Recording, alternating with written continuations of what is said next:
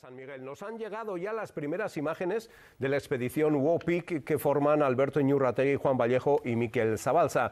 Un proyecto alpinístico en el Caracolum que aúna tres expediciones consecutivas al Payupic el llano y el choyu, escalando rutas nuevas o casi nunca repetidas. Los expedicionarios salieron ayer de Escardu y en estos momentos estarán descansando en Yola, camino del campo base del Payu, a donde tienen previsto llegar mañana mismo.